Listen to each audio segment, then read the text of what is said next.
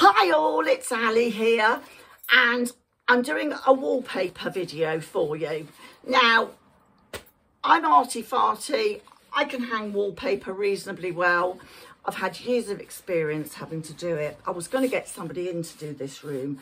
It was the room that my, my uh, youngest son has just recently moved out of and it's a big room. I think it's about 14 by 16 and I was going to get somebody in professionally to do it.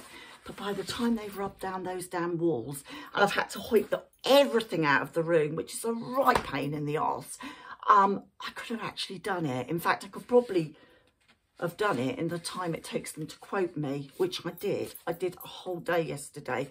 I'm really tired today, but it's well worth it. The thinner the paper, the more it will rip. Just remember that. So it's worth buying a good quality paper. The second thing is, uh, there's only a, only two or three rules really to wallpapering. And the second thing is, if you get a good quality paper and have lots and lots of glue on the back of the paper, you'll have success especially if you're covering old walls like mine, which undulate. I tell you, there's more potholes in my our walls than there are on the roads out there, and that's saying something. Um, Polyfilla is your, you know, is the queen of filling in holes, as we know. An old butter knife will do, just to flatten it off here. You don't have to go and buy trowels and things like that if you're at home, just find, find things around the house that you can use instead of spending money. You will need a good wallpaper brush. Again, they don't, they're very inexpensive. So you just get these big plastic ones and you literally slather the wallpaper. Otherwise, you're going to have problems. You need to make sure that the walls themselves are pretty much dust free so it's always good if you want to go around and wash the wall first. But if you don't want to wash the, wash the wall, wall first, I'll put my teeth in, just get a duster and do it. It's fine.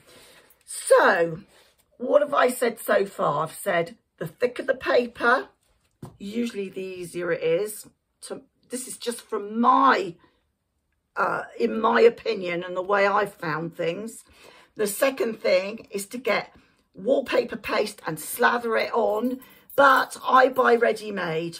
I've tried the uh, mixing yourself and I'm sure it's fine. But I just don't know what it is with me. I can't. what I can't be bothered to mix it. Two, it doesn't seem more expensive to get a great big tub of it ready mixed. And three, I can't get it the right consistency.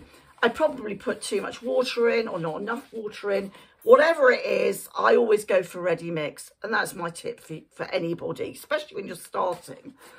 Um, obviously, meeting your pattern up is really important.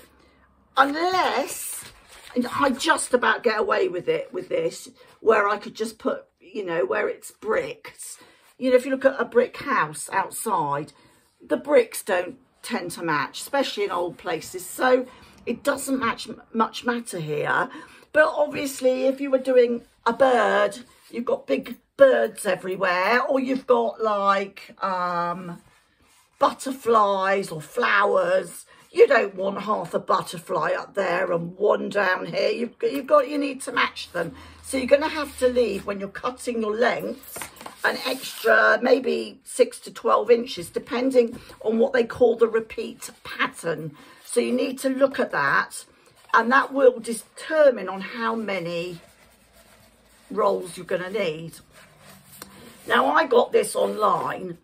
That wall here, the back wall, was done as an accent wall. And that's why I thought it's not going to look good all the way around. But actually, I ordered the same again because I thought, whatever I do, I could have got a plain grey. And I thought, oh, it's just a bit boring. And also, Plain is going to show, show the bumps. Shiny waterpaper is going to show the bumps. It's the same with painting. That's another tip for you. The shinier the paint, the more the bumps show. Just like you would on a voluptuous woman, the more shiny the garment, the more voluptuous the lady will look, or man. And that's just that's just the way it is because you've got reflection from lights. And so therefore, to use something that's that's not got a shine is, again, in an old house, the best way to go. Okay, I used about uh, five, no, four and a bit on these three. But two, but one of these walls has got two windows in. Take you for a little tour. This is the wallpaper. It's really nice. And look how nice and thick it is. It's like a, you can hear it. It's like, it's not, it's not quite a card, but it's, it's close to it. Um, I don't really know what to, to, to show you that, you know, you can't see from behind, but you'll see here was my focal point. So here is where I did my first piece. Uh, obviously, that wall, the, the wall behind me was done. But as I came round to this wall, you can see this wall is was done and then as I got the same bought the same wallpaper so it didn't matter that it wasn't in the same batch you still got we still got you know this oh what am I trying to say I'm so tired I can hardly speak I'm so sorry as we came around, it didn't matter that it wasn't in the same batch. That's what I'm trying to say. Um, this needs a really good clean. I must get to this. But again, if I was using paint, I know me, I would have painted the uh, radiator as well. Um, and so as you come round, the other good thing about wallpapering is that if you're, say you've got to go behind somewhere like this, you've got nowhere to put your clothes, you can dump them on the bed, do the wallpaper.